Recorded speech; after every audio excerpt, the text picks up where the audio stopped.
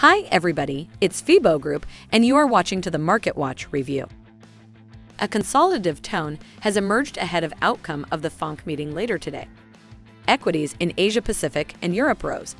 U.S. futures are slightly firmer. The dollar is trading with a lower bias, with the fear of intervention tomorrow when Tokyo markets are closest helping the yen lead the charge, followed by the Antipodean currencies. Emerging market currencies are broadly mixed. Gold is extending his recovery after posting an outside up day yesterday. It is near $1,655 after testing 1,631 yesterday. December WTI is flat around $88.30. It rallied 2.1% Tuesday. Asian Pacific market. Japan's markets are closed tomorrow, but market recalls that after the September Fed hike, the Bank of Japan intervened the following day. Yet, the intervention does not appear to have been aimed at a certain level, like JPY 150, but at volatility. Volatility is also directional in the sense that it has tended to increase when the dollar trades at levels it has not seen in decades. The dollar began the Asia Pacific session on its highs around JPY 148.35 and has trended lower to test JPY 147.00. Yesterday's low was a smidge on lower, the Australian dollar is firm, but within yesterday's range. Market of Europe.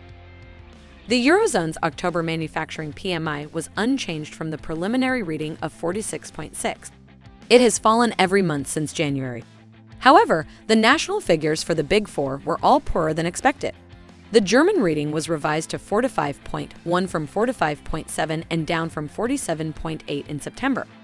Separately, Germany reported a larger than expected September trade surplus of 3.7 billion euros. The euro is in a little more than a third of a cent range today, above $0.9870. It met offers in early European turnover slightly above 0.9900. Similarly, sterling is confined to a narrow range inside yesterday's. It is in about a quarter of a cent range on either side of $1.1500 market of America. The key issue is not the magnitude of the Fed's hike today. A three quarters point hike is as foregone a conclusion as these things get. The issue is what is next.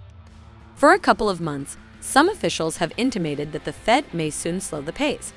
That would seem to make sense as the target rate moves above where Fed officials sees as neutral and into restrictive territory.